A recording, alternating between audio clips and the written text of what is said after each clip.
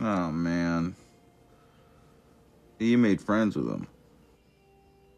See, friendship is the booze they feed you. Is they want you to get drunk and feeling like you belong. Well, it was fun.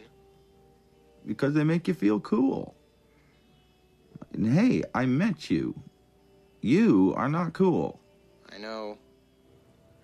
Even when I thought I was, I knew I wasn't. Right, because we are uncool. Now, while women will always be a problem for guys like us, most of the great art in the world is about that very problem. Good looking people, they got no spine. Their art never lasts.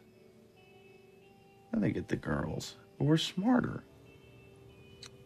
Yeah, I can really see that now. Yeah, because great art is about you know, guilt and longing and know love disguises sex and sex disguises love.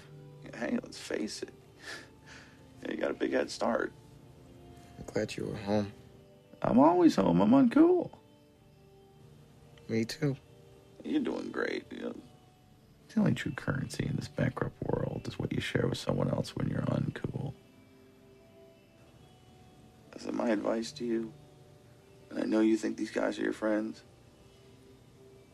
If you want to be a true friend to them, be honest and unmerciful.